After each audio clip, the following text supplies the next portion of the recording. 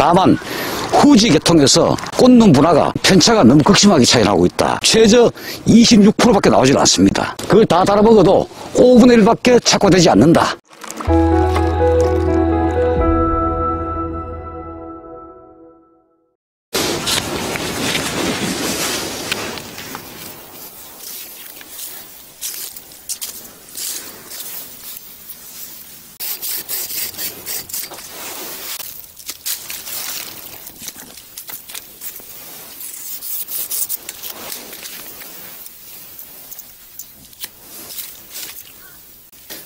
여러분 안녕하십니까?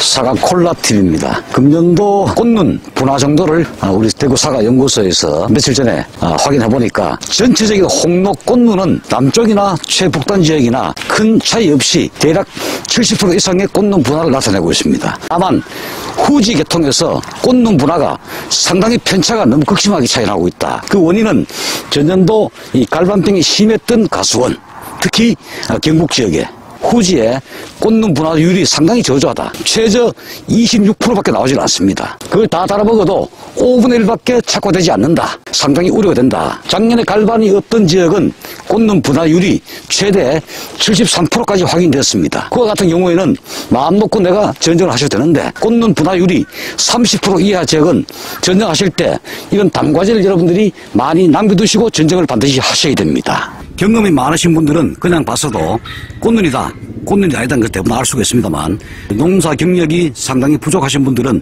이게 꽃눈인지 잇눈인지 분간하기가 상당히 어렵습니다. 다만 금년도 꽃눈이라고 유관 판단됨에도 불구하고 여러분들이 작년도에 어, 봄에 냉해 피해를 받은 가수원 또는 어, 작년에 조기 낙엽되거나 또 갈반 피해가 극심했던 가수원은 꽃눈인 것처럼 보일지라도 반드시 채취를 하셔가지고 꽂는 여부를 반드시 확인하셔야 됩니다. 어, 후지에 적정한 꽂는 수는 아, 최하 10개 중에 6개 정도 100개를 따가지고 65개 이상이 나와줘야 내가 마음 놓고 전쟁을 편안하게 안심 놓고 할 수가 있다. 그 말씀이 되겠습니다. 그래서 어, 금년도는 꽂는 확인이 필수적이다. 꽂는 확인 채취 방법은 성인 키에서 내 눈높이에서 적정한 꽂는 인 것처럼 보이는 것을 단과지 또는 중과지를 따셔가지고 한 10개 정도 또는 대략 20개 정도 이 나무에서 3개, 저 나무에서 3개, 반대편에 3개 이래서 총합 20개를 채취를 하셔가지고 면도칼로 위에서 아래로 종경으로 잘라가지고 그걸 보시면은 꽂는지 아닌지를 확인이 구분이 가능합니다. 꽂는은 부처님 가부자상을 하고 있고 잇누는 위에 부처님 머리가 없습니다. 그래서 그걸 보고 우리가 꽃눈이다, 꽃눈이 아니다는 것을 확실히 알 수가 있습니다. 전체 가수원에 표본적으로 눈높이에 있는 단과지, 중과지를 따셔가지고 한 20개 정도 많으면 많을수록 좋습니다만 사과가 좀 귀하기 때문에 한 20개 정도를 표본 채취를 하셔가지고 종경으로 갈라셔가지고 그 단면도를 보시면은 사진과 같이 꽃눈인지 잇눈인지 확인이 구분이 가능하다 이렇게 말씀을 드릴 수 있겠습니다. 그래서 전체적으로 한 60% 65% 이상의 꽃눈이 나와야 여러분들이 주지도 빼고 또는 결과적으로 정리를 할 수가 있다. 이런 말씀을 드리겠습니다. 특히 갈반이 심했던 가수원에서는 반드시 그렇게 해달라는 말씀을 당부의 말씀을 제가 드리겠습니다. 그래서 제가 평소에 늘잎 관리가 무엇보다 중요하다. 어, 금년도 꽃눈 표본 채취 조사 결과처럼 잎이 조기에 낙엽이 많이 되게 되면은 광합성을 못하기 때문에 꽃눈 형성이 안 됩니다. 그래서 제가 늘 앞으로 지구 온난화 문제 때문에 잎이 낙엽되지 않는 방안을 여러분들이 강구를 하셔야 된다. 그 방법이 뭐냐면 뿌리의 발달, 연면 시비를 통한 잎의 황화 현상의 억제, 갈반 포자균의 활성화 억제, 병해충 방겠죠. 단 화학 농약만 자꾸 우리가 살포한다 그래가지고 잎의 낙엽을 막을 수는 없다. 물론 방제가 중요합니다만 부가적으로 연면 시비를 통해서 우리가 잎의 조직을 엽록소 강화를 통해서 잎의 조직을 더욱더 활성화 주는 길밖에 없다. 이런 말씀을 드리겠습니다. 아울러서 온도가 35도 이상이 되면 잎의 광합성 활동은 정지가 됩니다. 물론 잎이 동화 양분을 만들어서 자기 호흡 에너지로 다 소비해버리고 기타 잉여 양분을 만들어가지고 열매 비대, 당도 이런 부분에는 어, 크게 관여를 못하기 때문에 잎이 절대 낙엽 돼서는 안 되고 또 잎의 조직을 강화시켜가지고 광합성 활동을 부가적으로 도와주는 그런 역할을 가원주께서 지원을 해주셔야 된다. 다만 그럼에도 불구하고 아주 복잡하다 싶어도 상단부가 햇빛이 많이 들어와야 되죠. 그래서 저와 같이 저런 상단부는 여러분들이 제거를 하셔야 됩니다. 즉 그늘 때문에 하단부에 빛이 도달하지 못하게 되면 결과적으로 그것이 무효입이 되기 때문에 상단부는 늘 짧고 간결하게 정리하셔가지고 중하단부에까지 햇빛이 골고루 수간 하부까지도 도달될 수 있는 방안을 강구하셔야 되고 때로는 이런 하단부에 그늘이 들었음에도 불구하고 하단부까지도 착색이 아주 망깔다나는 그런 가수도 있습니다. 그것은 바로 뿌리 관리 즉 비배 관리에 답이 있다. 따라서 제가 늘 미량원소 강조를 그렇게 많이 드리고 있습니다. 그래서 여러분들이 갈반이나 탄저, 부패 이런 것이 온다 그래가지고 무조건 약재만 가지고 방치할 것이 아니라 잎의 연목소 강화를 위한 마그네슘 제제의 연면 시비 그 농약과 같이 혼용을 해야 되죠. 별도로 치기는 어렵습니다. 또는 미량원소의 토양 시비 이러한 부분을 제가 늘 강조를 많이 드리고 있다. 특히 갈반병이 많이 왔던 가수원.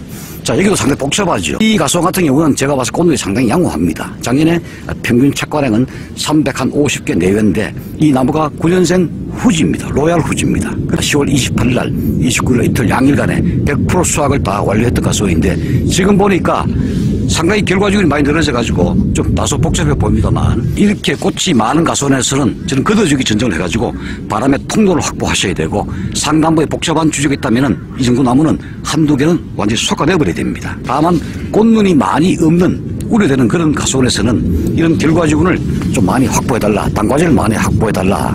아, 여기는 그런 형태의 나무가 아닙니다만 주로 유목 같은 경우는 기부에서 짧게 나온 게 많습니다. 그것이 다소 복잡하더라도 좀 남겨달라 말씀을 드리고 늘어진 가지는 좀 짧게 이렇게 걷어주기를 하셔가지고 일정 부분 꽃을 제거해버리고 여기서부터 이까지는 단과제가 있다면 다 확보하셔야 됩니다. 그것이 바로 꽃눈 확보의 지름길이다. 또 봄이 되면 제가 특히 이 결실 문제 때문에 앞으로 결실 문제가 상당히 우려가 많이 되고 있습니다. 수년 전부터 그런 결실 문제가 우려되고 또 냉해 피해라든지 이런 것들이 우려되기 때문에 또 때가 되면은 제가 영상을 통해서 특히 우리 밴드 회원들께는 또 밴드 지면을 통해서 또 정예 멤버들께는 제가 개인 영용 안내 문자를 통해서 지속적으로 관리를 해 드리겠다 이런 말씀을 드리겠습니다. 던장하시기 전에 전체 나무 수세 약하냐 보통이냐 세냐. 그 다음에 전체 꽂는 분화가 잘 됐나 못 됐나. 아까 홍로는 전국적으로 평균 70% 이상의 우수한 이 형태를 나타내고 있기 때문에 여러분들 원하는 대로 전형하시면 되고 후지 같은 경우는 편차가 3배 이상 나기 때문에 꽂는 분화율을 간이 검사를 해봐야 된다 직접. 그래서 전체 가수원에 한 20개 정도 눈높이에서 나가지고 여러분들이 종단면을 갈라가지고 여러분들 아까다니 응애 관찰하는 힘미경 집이 다 있습니다. 그걸로 이래 확인해 보시면은 꽃눈인지 잎눈인지 확인이 구분이 됩니다. 그것이 만약에 30% 미만이다. 그러면은 아, 중단과지 아사무사한 그런 꽃눈들은 좀 다부룩하게 남겨두는 것이 결실 확보 방안에 더욱더 유리하고 남겨두면 언제 전쟁하느냐 여러분들이 개화를 보고 또는 착과된 모습을 보고 최종 확인 후에 가감하셔가지고 남길 것은 남기고 또 제거할 것은 제거하도록 저희들이 이 권장을 드리고 있습니다. 전쟁 전에 이 꽂는 확인이 무엇보다 중요하다. 이런 말씀을 재차 강조를 드리겠습니다. 가손 현장에서 사과 콜라 TV였습니다.